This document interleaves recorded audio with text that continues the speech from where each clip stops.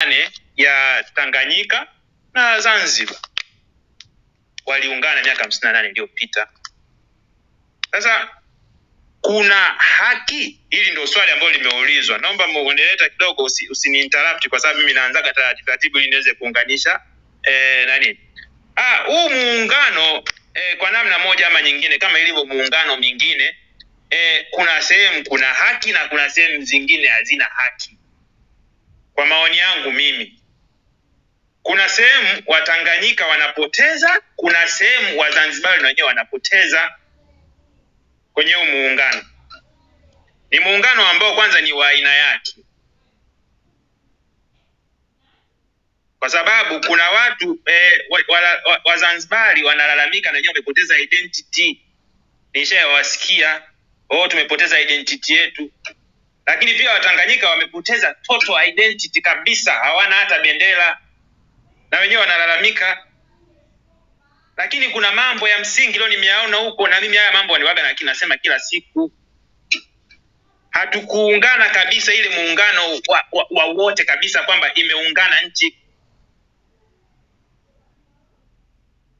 Muungano huu Zanzibar wana yao na sisi tuna yetu, lakini katika hayo yao na yetu kuna mambo hapa ndo kunatokea kwa wengine wanapata haki na wengine hawana haki. Kwa mfano mimi niongee ukweli, mimi nitajiongelea kwa upande wetu, mimi wala sita, kwa sababu ni siku ya muungano, wala mimi nitaongelea Watanganyika wenzangu, samanini sana, japokuwa nitakuja nitaongelea na upande wenzetu wanapo wanapo wanapo wenyewe wanapoona sio haki zao, nitaongelea pande zote mbili.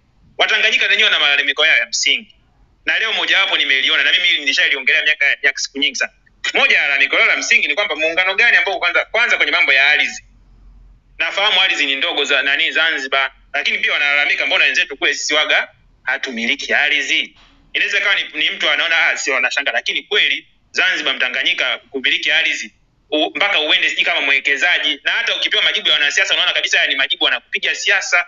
Mara utaambiwa wewe mpaka umiliki sijui kitambulisho cha mkazi, sijui ufanye nini jambo hili na lenyewe ni kero kwenye muungano, kwa sababu wenzetu akija huko na miliki mbona nzuri tu, utasema oh, kwa sababu ya kisiwa kidogo, mbona mbona dani ndogo kuliko hata Zanzibar yenyewe, lakini mtu wa Tabora atamiliki, mtu wa wapi atamiliki, mtu wa, wa nani watamiliki. Hivi kuna mkoa mdogo kama Dar es Salaam, lakini mbona wote tunamiliki?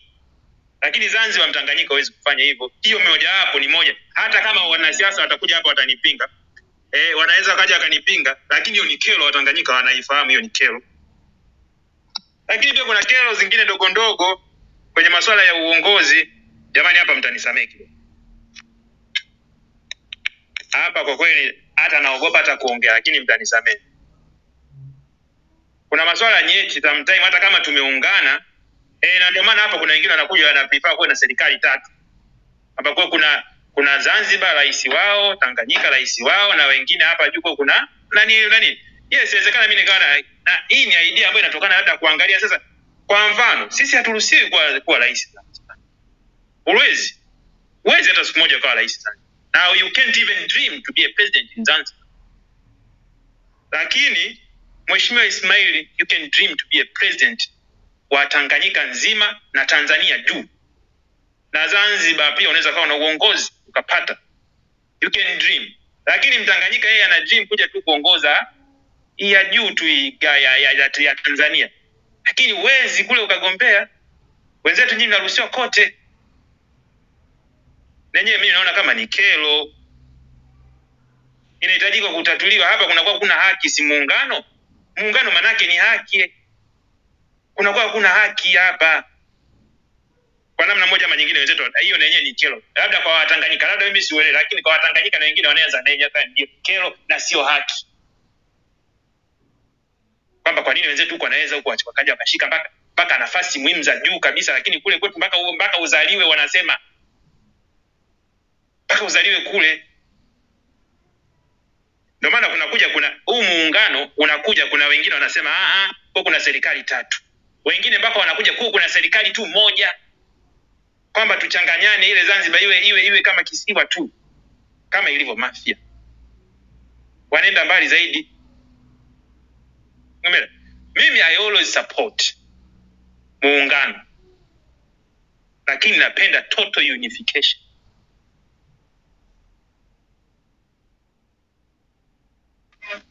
I always support total unification. Mimi muungano huu wa, wa, wa Tanganyika na, na Zanzibar ulivyo mi I don't support at all. Naonaga ni muungano ambao umekaa nusu nusu. Lakini pia wenzetu wanalalamika sana. Mara o tumeungana kwenye mafuta. E, lakini mara wanalalamika wenzetu mara sijui tunawanyonya mara wanalalamika hivi. Kuna vitu vingi na wenyewe wanalalamika lakini kuna vingine vya msingi na vingine sio vya msingi. Wanalalamika na wenyewe na wenyewe wana haki zao huko. Zinanyonywa zina, zina zinanyonywa kutokana na huu muungano. Kwa kwa namna moja ama nyingine huu muungano e, unahitajika na wenyewe ufanyiwe azimio kubwa. Uangaliwe wapi wanapoteza na sisi wapi tunapoteza ili tufanye mambo yakae sawa. Kama tunafanya total unification ni sawa kama tunarekebisha tuna, tuna turekebisha. lakini kwa sasa hivi huu muungano kuna sehemu hapa nimeongea kwa sababu wako watu wengi. Siwezi kuongea mambo mengi nikaanza kuchimba muungano sehemu ambazo na Zanzibar wanapoteza mara watu wana nani. Kuna vitu vingine tutaongea tutaonekana wachochezi. Ndio maana mimi sitaki leo ni sehemu ya, ya, ya, ya, ya hapa ni sehemu ambayo wapo. Tutaonekana mu wachochezi.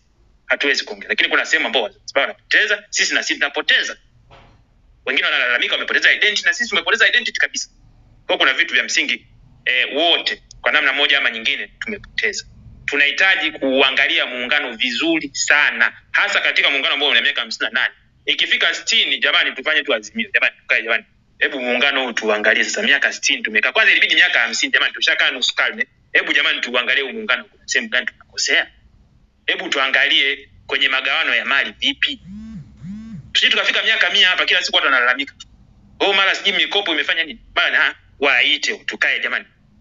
Miaka hamsini nusu kale tumeshakaa hebu tuangalie. Tunaubadilisha tunafanyia repair. Simple. Kwao mi nadhani muungano unahitaji eh, eh, una, una, kuna service alafu kuna ile service kubwa. Unahitaji service kubwa. Kabisa kabisa unahitaji service kubwa. Ambayo itafanya watanganyika tulizike na wazanzibari walizike. Tuendelee kuwepo. Kwa sababu e, umoja ni nguvu utengano ni udhaifu. Lakini kama utahitaji tu, tukiona tumeshindana aa, kila mtu ana mabegi yake. Kama tulivyo tulivyokuja na mabegi mwaka sitini na nne kuungana ah, basi kila mtu anaweza akachukua begi lake. Zanzibar chukua begi lako nenda na sisi tunachukua begi letu kwenda.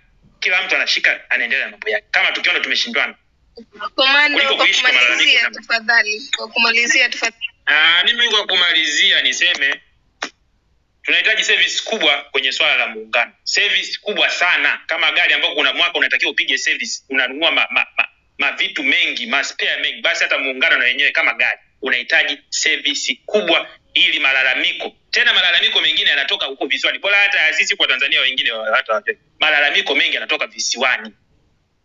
Huku watanganyika hata wahala mara chache sana. Labda sisi ambao wenye vielele watanganyika wamekaa kimya lakini wazanzibari wanalalamika zaidi kwa hiyo ni ishara kwamba inahitajika service kuu. asante Asante sana Komando kwa kurefresh room. Um, tuko katika room ya ishu na ishu ya wiki na Zito tukizungumzia miaka hamsini na nane ya muungano wa Tanganyika na Zanzibar. Je, kuna haki? So tukiwa tunajadili ama kuongea ama kuchangia michango yetu, tusisahau sana ama tusitoke nje ya mada.